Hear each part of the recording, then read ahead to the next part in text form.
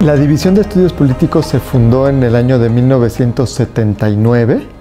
Es una de las divisiones eh, principales en el CIDE en términos de tamaño, quizá después de la de estudios económicos y de la de administración pública, de la División de Economía y de la Administración Pública.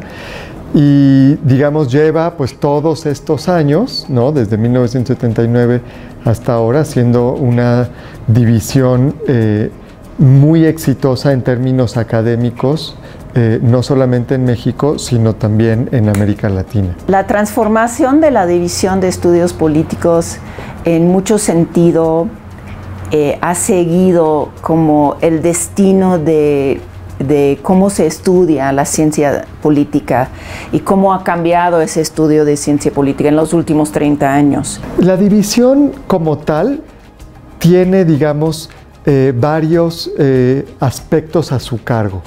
Una son los programas docentes.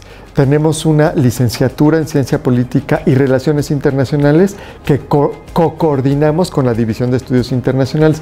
Tenemos una maestría en Ciencia Política de reciente creación y un doctorado en Ciencia Política de reciente creación. Por reciente me refiero hace cuatro años que, iniciamos con esto. Además tenemos un diplomado en análisis político estratégico, que es el diplomado que más tiempo ha durado en el CIDE.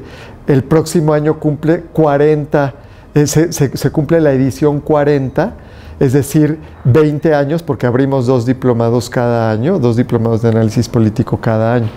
Y además tenemos la revista eh, Política y Gobierno. Yo creo que los resultados más destacados de, de la división son nuestras investigaciones todos, o sea, casi sin excepción, todos nosotros hemos hecho eh, investigaciones sobre datos que nosotros hemos este, recolectado o sobre ideas, sobre historias eh, que nosotros consideramos pertenentes a la realidad mexicana o a la realidad de América Latina. La División de Estudios Políticos contribuye en términos de las tres grandes áreas que realiza el CIDE como institución.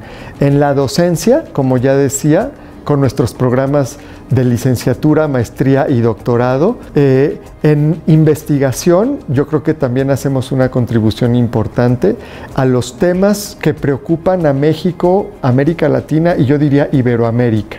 Y también en el área de difusión o impacto. Yo creo que festejo mucho el hecho de que después de 45 años, con nuestras subidas y bajadas que sufre toda institución, pública y de educación superior, que estamos aquí y seguimos haciendo investigación de primera y docencia de primera.